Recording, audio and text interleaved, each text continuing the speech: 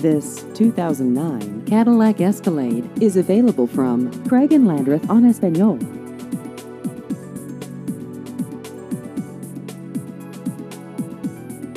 This vehicle has just over 89,000 miles.